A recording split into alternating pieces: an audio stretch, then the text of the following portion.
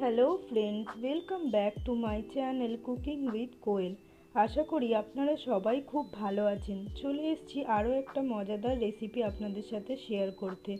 এখানে আমি মলে এসেছিলাম। কেক বানানোর জিনিসপত্র কিনতে।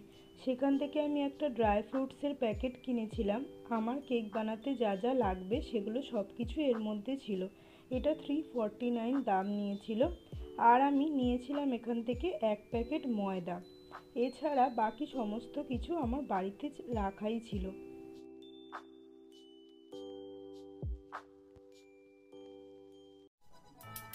প্রথমে এখানে আমি তিনটে ডিমকে এক জায়গায় ফাটিয়ে নিচ্ছি। প্রথমে লিকুইড জিনিসগুলোকে এক জায়গায় করে নিতে হবে। এর আগেও আমার কেক বানানোর রেসিপি দেওয়া আছে, কিন্তু এই ভিডিওটা একটু অন্যরকমভাবে বানিয়েছি। আপনাদের ভালো ভালো লাগলে ভিডিওটা অবশ্যই একটা লাইক দেবেন। আর একটা মজার ব্যাপার হলো, এটাতে আমাকে কুচকিও অনেকটা হেল্প করেছে। এখানে আমি এক কাপ মতন তেল নিয়ে নিচ্ছি। আপনারা মনে রাখবেন যেই কাপের তেল ইউজ করবেন, সেই একই কাপের ময়দা, চিনি সব কিছু ওই কাপ দিয়েই মাপটা নেবেন। এখানে আমি এক কাপ মাপেরই চিনি নিচ্ছি। চিনিটা আমি পাউডার করে নিয়েছিলাম যাতে মিক্স করতে সুবিধা হয়।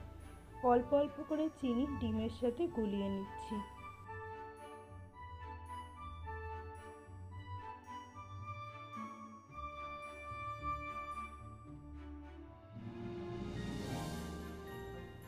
এরপর আমি এখানে ভ্যানিলা এসেন্স এক চামচ মতন দিয়েছি। আপনাদের কাছে যদি না থাকে, তাহলে এটা না দিলেও চলবে।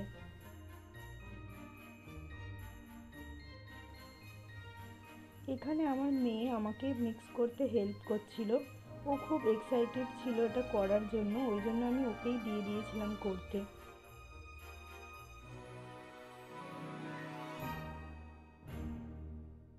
সব কিছুকে ভালোভাবে মিক্স করে নিয়ে এবার আমি ড্রাই ইনগ্রেডিয়েন্টসের দিকে চলে যাব। এখানে আমি দু কাপ মতন ময়দা ইউজ করেছি ওই সেম কাপেরই মাপে।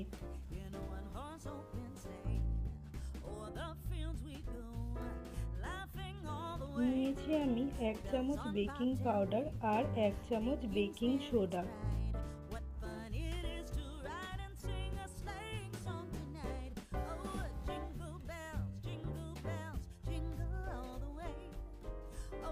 এরপর এখানে এক চামচ মতো নুন দিয়েছি। আর আমি দিয়েছি কোকোয়া পাউডার যাতে কালারটা একটু চকলেটি হয়। তার সাথে আমি এক প্যাকেট মতন ওরিও বিস্কিটও ইউজ করেছিলাম। ওরিও বিস্কুট আমার মেয়ের খুবই ফেভারিট ওই জন্য ও তাকিয়ে বসেছিল যে এটা ওকে না দিয়ে আমি কেকে দিচ্ছি কেন। তারপরে আমি এখান থেকে একটা বিস্কিট ওকে দিয়েছিলাম।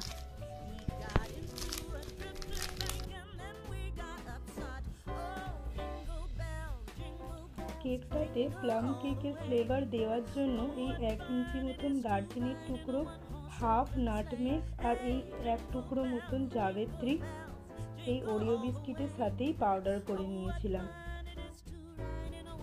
সব রকম ড্রাই ইনগ্রিডিয়েন্টসগুলো এবার এক জায়গায় নিয়ে নিলাম। নিয়ে এগুলোকে একটু চেলে নিতে হবে যাতে কোনো লামস না পড়ে। ওই জন্য এখানে চেলে নিয়ে তারপরে আমরা এটা ব্যবহার করব।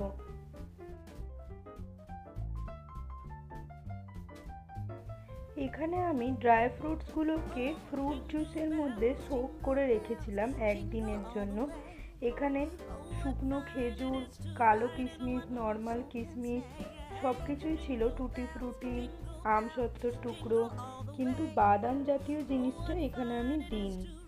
এবার যে লিকুইড মিশ্রণটা ছিল তার মধ্যে অল্প অল্প করে ড্রাই মিশ্রণটা দেব আর ভালো করে মিক্স করে নেব। এটাতে আমাকে পুচকি একটু হেল্প করেছে। ও খুব ভালোভাবে খুব মন দিয়ে এটা করছিল।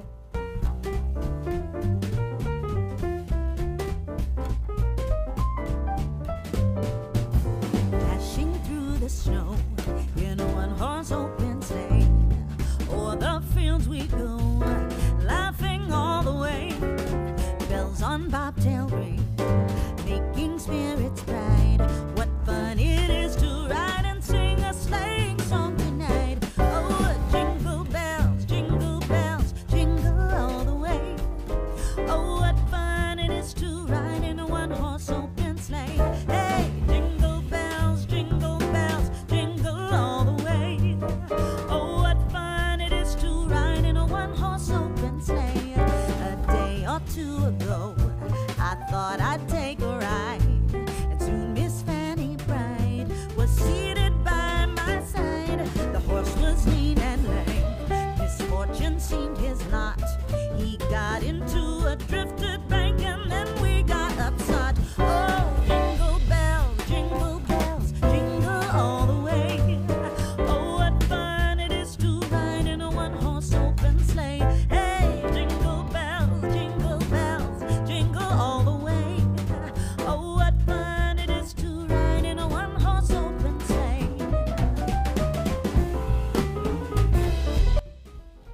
মিশ্রণটা যাতে খুব ঠিক না হয় প্রয়োজন হলে এখানে আপনারা লিকুইড দুধের ব্যবহার করতে পারেন আমারও সেটার প্রয়োজন হয়েছিল বলে আমি অল্প অল্প করে হাফ কাপ মতন লিকুইড দুধ নিয়ে নিয়েছিলাম Oh,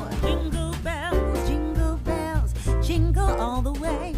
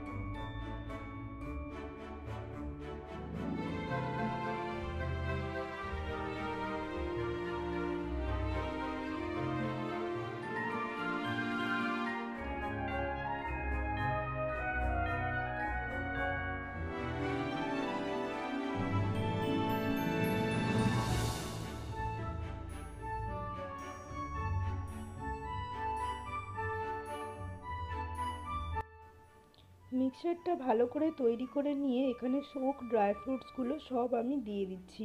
সব দিয়ে ভালো করে আরও একবার মিশিয়ে নিতে হবে।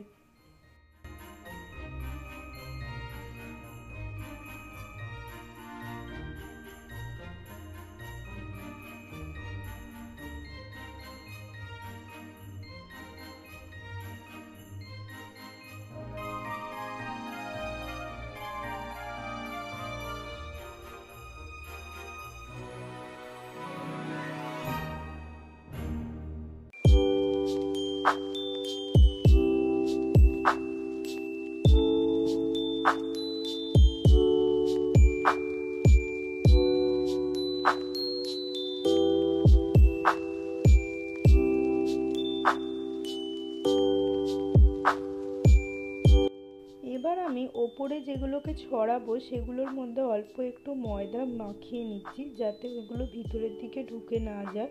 সেই জন্য এইভাবে ইউজ করলে ওইগুলো ওপরেই থাকে। এখানে আমি কেক বানানোর জন্য বাটিটাকে রেডি করে নিচ্ছি। প্রথমে এটাতে একটু তেল মাখিয়ে নেব, তারপরে শুকনো ময়দা ছড়িয়ে নেব। আপনাদের কাছে যদি বাটার পেপার থাকে, আপনারা সেটারও ব্যবহার করতে পারেন। সেটা ব্যবহার করলে এগুলো করার প্রয়োজন পড়বে না।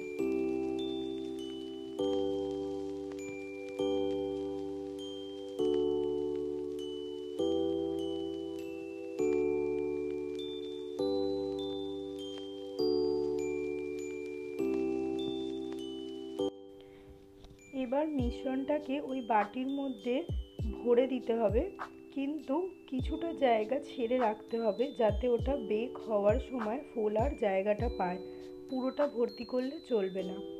এরপরে এখানে এই শুকনো ইনগ্রেডিয়েন্টসগুলো ছড়িয়ে দিচ্ছি মানে শুকনো ড্রাই ফ্রুটসগুলো তারপরে আমি এটা প্রেশার কুকারে করে নেব। প্রেশার কুকারটাকে আমি আগের থেকে পাঁচ মিনিট মতন গরম করে নিয়েছিলাম। তারপরে আমি কেকটা এখানে বসিয়ে দিয়েছি। এরকম একটা স্ট্যান্ড রেখেছিলাম, আর কিছু দেওয়ার দরকার নেই। খালি সিটিটা খুলে নিলেই হবে। এবার প্রেশার কুকারটাকে বন্ধ করে মিনিমাম ফর্টি মিনিটস আমাদেরকে দিতেই হবে সিমায় আঁচ করে। ফর্টি মিনিটস পরে চেক করে নিতে হবে। যদি মনে হয় কেকটা হয়ে গেছে, তাহলে গ্যাস বন্ধ করে দেবো। না হলে আরও দশ মিনিট হতে দেবো। কেকটা চেক করব আমরা। এইভাবে একটা ছুরি ঢুকিয়ে যদি দেখি ছুরিটা পুরো ক্লিন আসছে, তার মানে কেকটা বেক হয়ে গেছে। আর যদি ছুরিটাতে লিকুইড অল্প লেগে থাকে, তাহলে আমাদের কেকটা আরও কিছুক্ষণ করতে হবে। দেখুন আমার ক্রিসমাস কেক একদম তৈরি। কেকটা বার করার জন্য আমাদের কেকটাকে আগে পুরোপুরি ঠান্ডা হতে দিতে হবে। তারপরে চাকু দিয়ে এইভাবে সাইডটা একটু কেটে নিয়ে কোনো একটা থালা বা প্লেটের মধ্যে উল্টে নিয়ে একটু ওপর থেকে ট্যাপ করলেই কেকটা খুব ভালোভাবে ইজিলি বেরিয়ে আসবে। এই কেকটা ইজিলি বেরোনোর জন্যই বাসনটাকে আগে তৈরি করে নিতে হয়, না হলে বাসনে কেকটা লেগে যেতে পারে।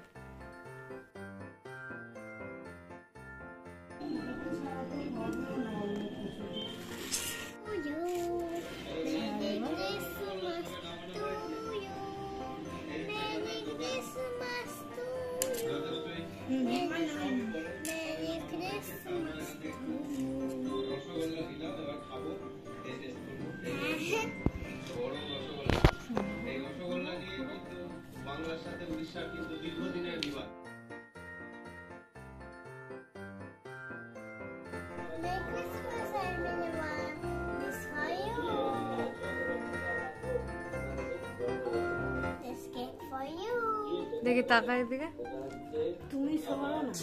তাকায় দিকে